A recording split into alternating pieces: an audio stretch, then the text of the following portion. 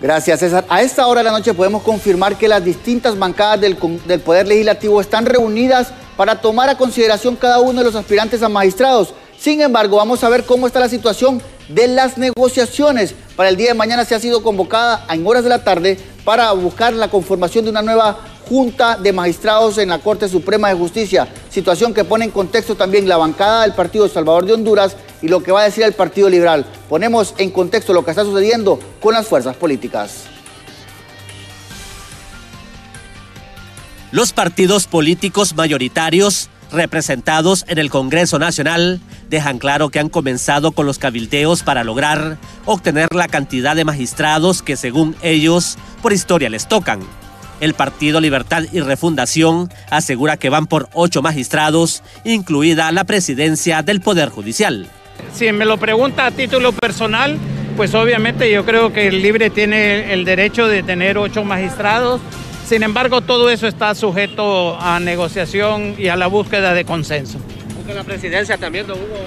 No, yo creo que lo, que lo debería de, de tener. Si en el pasado el partido ganador ha tenido eh, a una persona afín a, su doctrina política, creo que esto debería de ser lo mismo.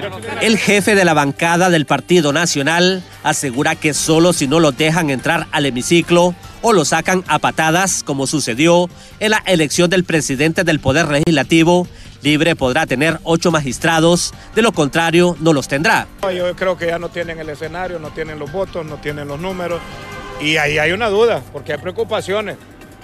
Si quiere ocho, la única manera que miro de conseguir los ocho es que hagan lo que hicieron hace un año cuando la directiva, que no nos dejaron ingresar, que estaban los grupos violentos de libre y se tomaron el Congreso, que pusieron una directiva a patadas, con violencia, sin votos, y que usurparon los curules de nuestro partido con suplentes de libre. Ese es el único escenario para lo cual hoy libre pudiera estar diciendo que va a obtener ocho magistrados.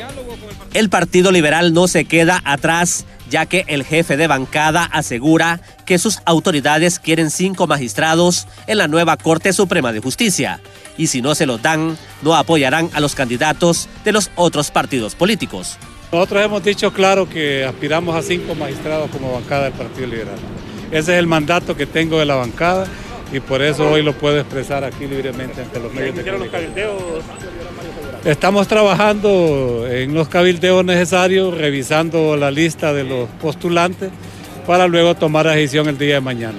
Los diputados del Partido Salvador de Honduras aseguran que ellos ya tienen un listado de candidatos que no apoyarán si son propuestos por los demás partidos ya que no están actos para que sean magistrados de la Corte Suprema de Justicia. Bueno, hasta este momento tenemos un listado de 10. Esperamos que eh, en la revisión que vamos a seguir haciendo, me imagino que van a salir aún más, pero ya el pueblo hondureño va a conocer por los cuales el Partido Salvador de Honduras no va a ejercer el voto. ¿Cuál es el motivo para que no voten por estos 10 diputados? Ah, bueno, porque nosotros también tenemos nuestras investigaciones y lo que no pudo complementar la Junta Nominadora, nosotros sí lo vamos a complementar. Desde que llegó a la Secretaría del Poder Legislativo el listado de los 45 candidatos a magistrados a la Corte Suprema de Justicia, los tres partidos políticos mayoritarios comenzaron a hacer sus cabildeos para lograr la cantidad de representantes que desean tener en el Poder Judicial. En cámaras, Elvis Zambrano, en edición Julio Peña, les informó Luis Durón para Impacto BTV.